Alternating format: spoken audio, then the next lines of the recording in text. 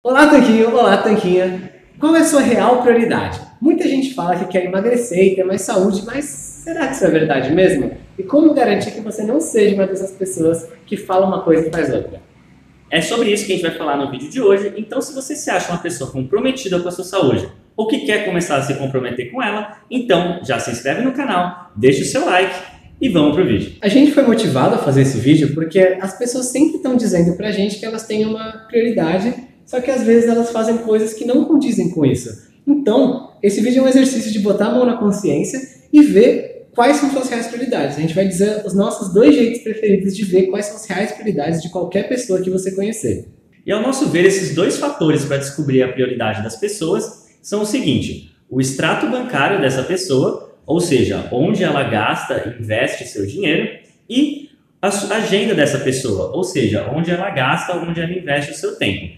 Então a gente consegue ver, talvez a gente não saiba onde estão as prioridades das pessoas, se ela não tiver nenhum tipo de prioridade, mas a gente com certeza consegue ver quais não são as prioridades dessa pessoa. Agora a gente pode dar alguns exemplos para você entender melhor esses dois pontos que a gente apresentou. Com esses dois pontos, a gente não precisa nem conviver com a pessoa, não precisa nem conversar com ela, e a gente vai ver exatamente onde ela aloca o tempo e o dinheiro dela, são os recursos mais preciosos que ela tem na vida. Vamos ver os exemplos então. Então vamos começar com um exemplo de tempo. Muitas vezes as pessoas dizem que não tem tempo nem para fazer uma caminhada, nem para ir na academia, nem para cozinhar e preparar os alimentos que ela sabe que são mais saudáveis. Porém, essa mesma pessoa todos os dias gasta horas e horas nas mídias sociais, vendo a vida dos outros e assistindo um monte de televisão. Não parece assim que ela não tem tempo. Parece que ela está usando tempo de outro jeito, que a prioridade dela é ver televisão, acompanhar a novela e não cuidar da saúde. O nosso segundo exemplo diz respeito ao fator dinheiro. Porque muitas vezes a pessoa fala: "Ah, eu não consigo emagrecer porque eu não tenho dinheiro para gastar com a minha saúde" ou porque fazer dieta é caro. E na verdade não é assim. Mas na verdade, quando a gente vai ver o extrato bancário dessa pessoa, o extrato do cartão de crédito dessa pessoa, a gente percebe que ela gasta com coisas como McDonald's, que um lanche custa 30 reais, o combo, com coisas como cerveja todo final de semana, como balada, como trocar o carro todo ano, ou mesmo com refrigerante, que não é uma coisa tão cara, mas que com certeza é mais cara do que beber água e esse dinheiro poderia estar sendo melhor empregado comprando alimentos na feira ou no açougue. Sem contar que ela já gasta dinheiro para fazer as compras dela naturalmente. Ela não está fazendo jejum e agora vai ter que gastar, começar a gastar dinheiro com comida. E até porque a dieta não é cara. A gente já mostrou uma vez o nosso cardápio de uma semana de dieta. A gente falou quanto custa tudo, quanta comida vem Dá um trabalhinho, são três horas cozinhando, mas você come bem a semana toda e gasta muito pouco. Então, a pessoa que está usando a falta de dinheiro como desculpa, ela está fazendo exatamente isso, botando como desculpa. Porque se ela tem dinheiro para ir no McDonald's, para trocar de carro, para ir na balada, para ir no barzinho, ela simplesmente tem essas prioridades. E não tem problema se essa for a prioridade dela, só que ela tem que ser honesta a respeito disso. Ela tem que falar: minha prioridade é sair com meus amigos todos os finais de semana. E não é gastar, às vezes, 10 reais a mais que você gastaria para comprar feira para comprar alimentos saudáveis na feira e no açougue.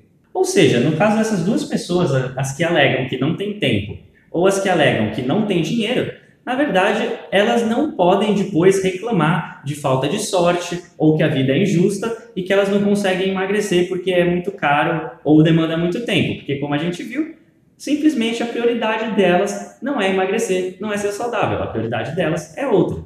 Agora vamos ver alguém que decidiu que a sua prioridade é a saúde, é a alimentação, é ter uma vida longa, saudável e feliz, e ela começa a fazer o seguinte: ela vai na academia duas vezes por semana, de 40 minutinhos, ela caminha três, quatro vezes por semana, de 15 minutos ou mais, 15, 20 minutos, não é muito tempo, e ela cozinha a e ela cozinha os alimentos dela para a semana toda por três horinhas, uma vez por semana. Quanto tempo ela está gastando com tudo isso somando? Umas seis horas?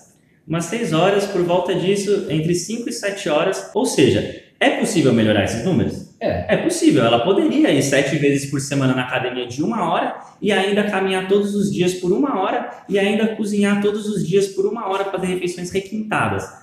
Mas ela faz o que está ao alcance dela ao invés de reclamar. E com certeza ela vai ter muitos mais resultados fazendo isso do que alguém que está sentado na, olhando a TV e dando desculpas de que não tem tempo.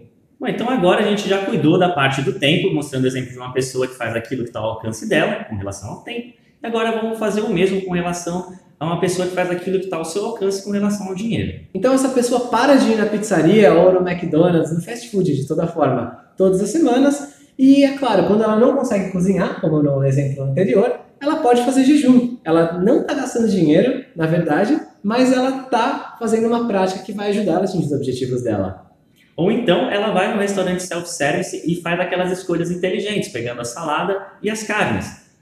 Ou então ela pega e investe 70 reais no nosso cardápio, na verdade R$ 69,90 no nosso cardápio para 147 dias, ou seja, R$ 69,90 é menos do que você ir duas, três vezes no McDonald's, é menos que uma pizza ou duas, dependendo de onde você comprar, e você vai aprender a se alimentar saudável para o resto da sua vida. Você vai ter ali exemplos de refeições durante 147 dias para você aprender a se alimentar de forma saudável para o resto da vida. É um investimento, né? Você está fazendo esse gasto agora, vai ter um trabalhinho de adaptação de um mês, dois, e depois vai ter o resto da vida saudável.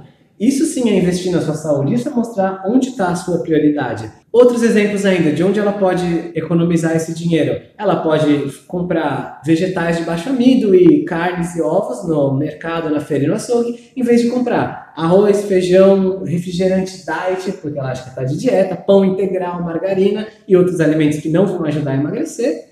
E ela também pode, por exemplo, levar marmita para o trabalho, ao invés de comer fora todos os dias, que vai ser uma opção bem saudável e bem barata, ou pode escolher opções mais saudáveis, como por exemplo, ir num restaurante self-service e escolher o que é bom para você. Ir num restaurante à la carte e escolher vegetais no lugar do arroz, por exemplo, se você tiver com mais disponibilidade de dinheiro. Isso sim vai mostrar que você está comprometido com o seu objetivo de emagrecer e ser mais saudável. Esse exemplo que o Rony falou por último eu achei excelente, que é, por exemplo, você vai no restaurante, às vezes a opção padrão de acompanhamento é fritas com arroz. Você pedir para trocar por vegetais, mesmo que às vezes custe 10 reais a mais, é um investimento do seu dinheiro na sua saúde. Porque você já está indo comer num restaurante à la carte. Você já está despendendo mais dinheiro do que talvez seria necessário se o único objetivo fosse a sua subsistência e você, sua prioridade fosse economizar. Então, por que não fazer esse pequeno pulo a mais e de fato investir na sua saúde? É igual o exemplo do cardápio. Você pode ficar rodando a internet afora, fazendo um monte de experimento maluco, seguindo gente que fica dando ideia de egg fasting para você fazer, ou você pode pegar um método provado e seguir uma coisa que funciona para milhares e milhares de pessoas, sem neurose, sem tentar fazer mágica com a sua dieta, mas aprender o que funciona e aperfeiçoando e ter resultado. Então agora a gente tem um pequeno exercício rápido para você. É o seguinte, olha a sua agenda da última semana ou relembre o que você fez durante a última semana e também relembre, olhe o seu extrato, seu gasto cartão de crédito e veja onde você andou gastando seu dinheiro e aí põe a mão na consciência e veja se esses seus gastos de tempo e dinheiro estão realmente alinhados com aqueles que são os seus objetivos. Se o seu objetivo é emagrecer, esses gastos estão alinhados com emagrecer. E claro, comenta aqui embaixo onde que você gasta mais, seu tempo e dinheiro. Você talvez se surpreenda. Provavelmente você gasta a maior parte do seu tempo no trabalho, o que é uma coisa boa também. Se você gosta do seu trabalho, se você faz uma coisa que você odeia, é ruim. E talvez você se surpreenda ao ver realmente quais são suas prioridades, quais são coisas nas quais você não tem dó de gastar, seja tempo, seja dinheiro, e quais são outras coisas em que você às vezes está se segurando e isso está te impedindo de chegar no próximo nível e ter os resultados que você quer. E olha que interessante, essas coisas de tempo e dinheiro podem se compensar um pouco. Por exemplo, você não tem tempo de cozinhar, então você pode ir no self-service. Você não quer ir no self-service porque não quer gastar dinheiro, então você pode comprar coisas no mercado e cozinhar em casa e levar a marmita para o seu trabalho, por exemplo. Você não tem tempo e não tem dinheiro naquele momento, você pode simplesmente fazer jejum. Também é uma opção válida. Você pode pular o almoço e só jantar e comer na sua casa. Então você vê que elas se compensam até um certo limite, óbvio, né? Você não pode, ninguém pode ir na academia por você para ter bons resultados. Mas pode ficar tranquilo, a gente não está dizendo que você nunca mais pode passar seu tempo à toa, vendo séries, vendo TV, ou que nunca mais pode tomar cerveja, mas sim que você faça essas coisas de maneira consciente, que você vire e fale, ah, hoje é um dia que eu vou ficar em casa, vou ver Netflix, não vou fazer mais nada. Hoje é um dia que eu vou sair e vou comer pizza, e tudo bem, é uma exceção que eu planejei vai ser boa, eu vou curtir que você faça essas coisas de maneira consciente e não no piloto automático, como muita gente faz, que faz essas coisas de maneira automática sem nem pensar e depois se queixa que não tem tempo e dinheiro para o que realmente importa. E se você quiser saber mais sobre o cardápio que a gente citou ao longo deste vídeo, a gente separou um link aqui, o primeiro da descrição, que vai te levar para uma página com todas as informações que você precisa saber sobre esse programa, né, o Guia Cardápio Low Carb, 147 dias de refeições, exemplos de café da manhã, almoço, lanche e jantar, para você se inspirar e seguir sua dieta. Além, é claro, de um monte de receitas que acompanha esse guia. E aí, gostou desse vídeo? Foi um formato diferente, mais motivacional, querendo dar uma reflexão para você. Então comenta aqui embaixo se você gostou, se quer mais vídeo assim. E se você gosta dos nossos vídeos, se inscreve no canal. Tem um tanquinho ali para você clicar e se inscrever no canal. A gente se vê no próximo vídeo. Um forte abraço do, do Senhor Tanquinho.